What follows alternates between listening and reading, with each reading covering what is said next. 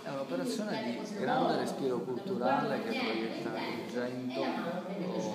su uno scenario che è più vasto proprio in termini di attrattività culturale.